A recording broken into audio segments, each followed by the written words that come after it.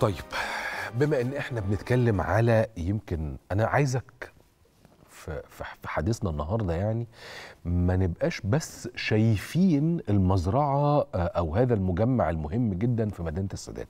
أنا عايزك تشوف الصورة بشكل أكثر اتساعا إذا سمحت لي يعني. عزيزي المواطن عزيزتي المواطن الصورة أكثر اتساعا اللي هي إيه؟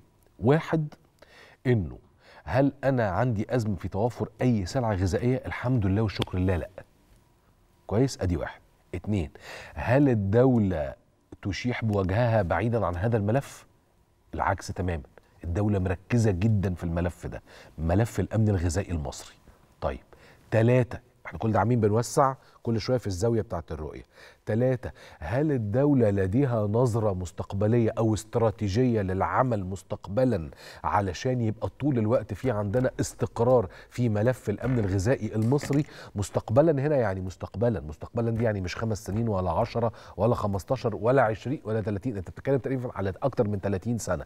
أيوة الوضع اللي إحنا فيه ده هذه الإدارة السياسية للبلاد عندها نظرة واسعة جدا مستقبلية جدا لهذا الملف وغيره من الملفات. خليني هنا أقتبس لك من الرئيس جملة لطيفة جدا. قال كل شوية بيقول لي هو أنت بتقول الكلام ده على التلفزيون ليه؟ لما أجي بتكلم بقول أنا عايز نعمل كذا وبفكر بكذا.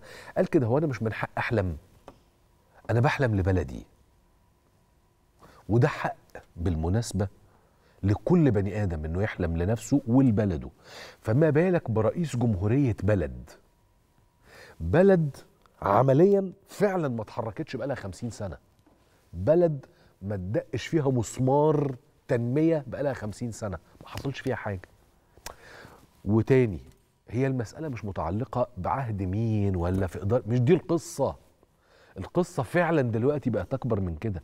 إحنا خمسين سنة تقريبا محلك سر. تقريبا.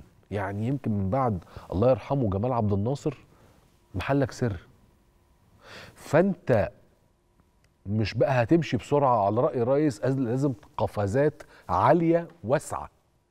مفيش عندنا مجال يا جماعة إحنا ما عندناش لا رفاهية ولا طرف إن إحنا نتمشى. مش هقول لك نقف في مكاننا إحنا واقفين بقالنا خمسين سنة. يعني إحنا حمضنا. فما عندناش هذا الطرف.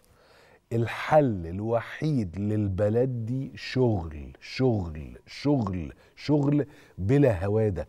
انت لو ركزت في الكلام اللي أنا كنت بقول لك أول الحلقة خالص قلت لك إيه؟ أنا نزلت من بيتنا الساعة ستة. كويس؟ علشان أبقى موجود في مدينة السادات سبعة ونص تمانية. انت عارف ده معناه إيه ولا لأ؟ سيبك من يوسف خالص خالص. مش ده القصة ولا زمايلي بالمناسبة. هي القصة في إنه هو إحنا دلوقتي مثلا كنا بنكلم وزير الزراعة صح؟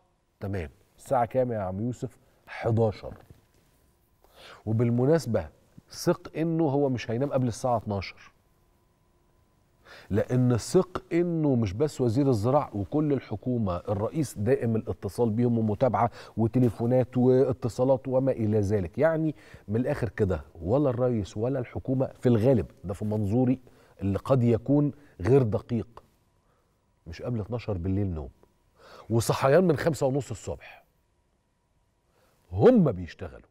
السؤال بقى أنا وأنت بنشتغل كفاية؟ يعني أنا وأنت بنعمل اللي علينا؟ يعني إيه بنعمل اللي علينا؟ يعني إحنا معدل إنتاجيتنا صح؟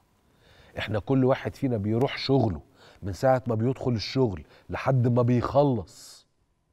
فايا كانت المهنة بقى أنا بشتغل مذيع غيري بيشتغل محاسب غيري بيشتغل مهندس غيري بيشتغل طبيب غيري بيشتغل عامل في مصنع قد الدنيا. إلخ إلخ إحنا من ساعة ما بندخل الشغل أنا بشتغل عدد ساعات العمل بتاعتي بما يرضي الله صح. يعني أنا مرضي يعني أنا نايم مستريح أبص في المراية كده أقول يا سلام عليك يا واد يا يوسف أنت النهارده اشتغلت بالمظبوط. لو أنا افترضنا إن أنا شغلتي 8 ساعات كل يوم أنا اشتغلت ال 8 ساعات ولا رغيت منهم ساعة؟ وهزرت فيهم ساعة؟ وقعدت أضيع وقت ساعة؟ وقعدت آكل في ساعة؟ إلخ إلخ إلخ.